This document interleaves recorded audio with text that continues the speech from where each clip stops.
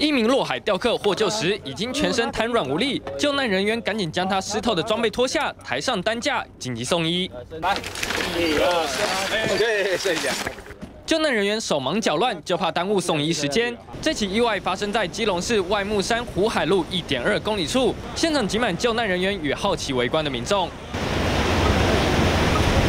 当时钓客落海后，警消人员接获通报，立刻赶往出事地点。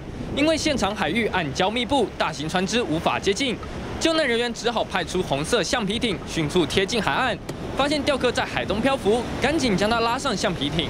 啊，差点翻船，起来，浪有够大的。到了，由于落海有一段时间，钓客已经严重失温，所幸他有穿救生衣的习惯，不然强大的风浪与海水的低温，存活几率将大大降低。还有意思，啊啊，他会喊喊吗？喊的？他已经没有力气喊了。我不知道，看今天浪蛮大了，他就直接飘到外海去这样。钓客送医后没有大碍，已经平安出院。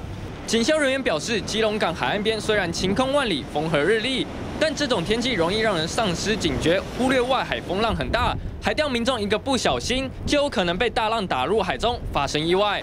记者朱丁荣、周世平，基隆报道。